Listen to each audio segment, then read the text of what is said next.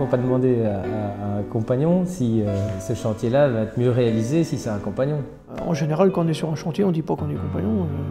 On connaît pas tout, bien sûr, on, connaît, on est loin de tout connaître, mais c'est vrai qu'on travaille quand même pour, parce qu'on travaille quand même beaucoup. C'est un parcours unique, surtout pour ceux qui, qui vont au bout.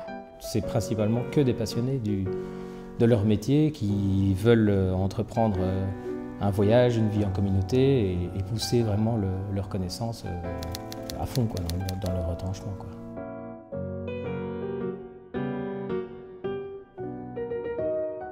le compagnonnage, c'est une manière d'apprendre son métier tout en voyageant.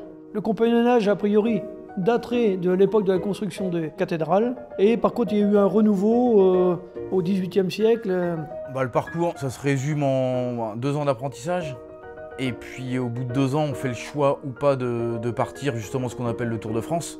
Le but du jeu, c'est de changer de ville euh, tous les six mois, changer d'entreprise tous les six mois. Donc ça, permet justement de, côtoyer vraiment beaucoup de monde, apprendre beaucoup de techniques différentes. Et c'est vrai qu'après, quand on fait le bilan au bout de 7 ou 8 ans, bah, on a quand même emmagasiné euh, pas mal d'expérience, même si on reste jeune. Quoi. J'ai commencé apprenti, j'avais 15 ans et je suis parti sur le tour au bout de deux ans d'apprentissage et un CAP en poche. Euh, donc j'ai fait à peu près 12 ans de Tour de France. 12 ans où j'ai fait pas loin de une vingtaine d'entreprises à, varier entre 6, 8 mois par, entreprise. Le, mot d'ordre, c'est pendant toutes ces années, c'est s'oublier pour se former et former les autres. Après, ce qui nous différencie un peu, c'est que c'est vrai que le soir, de 20h à 22h, on avait des cours de, matière générale ou alors euh, professionnelle. Le samedi, c'est vrai qu'on passe notre, notre journée euh, en atelier auprès d'anciens compagnons justement qui viennent retransmettre leur, savoir. Le, fait de vivre ensemble et d'être toujours en communauté de, métiers, hein, ça, donne un engouement et on vit notre métier à 200 à l'heure avec tout ce que ça implique on veut tout savoir sur le métier. Réellement, moi j'étais dans la, tête dedans, à fond et, j'ai relevé la tête que, que à la fin de mon Tour de France, quand on m'a demandé si je voulais devenir compagnon, et là j'ai fait Ah, déjà? Un compagnon, c'est quelqu'un qui a un bon savoir-faire, donc forcément, quand il va le mettre en œuvre, ce savoir-faire, euh, ça va se ressentir sur le, sur le chantier. Euh, de toute façon, pour qu'il y ait une cohésion dans, une entreprise, il faut qu'il y ait un petit peu d'esprit compagnonnage, même sans qu'il y ait de compagnons. Moi, j'ai monté mon entreprise euh, à 25 ans. Je ne serais pas passé par le biais du compagnonnage. honnêtement, je pense que j'aurais jamais pu monter mon entreprise euh, à cet âge-là. Voilà, après, le but du jeu, c'est la retransmission. Quoi. Moi, j'ai pu le faire aussi après au sein des compagnons après mon Tour de France et voilà, prendre de temps en temps un peu de temps pour justement aller, aller retransmettre son savoir auprès des jeunes. Quoi.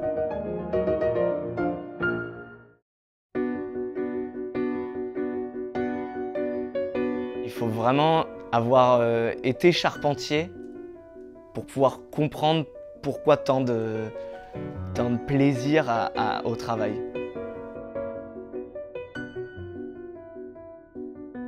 Bah, le souci, c'est qu'aujourd'hui, on ne forme plus de couvreurs, en fait, ou très peu.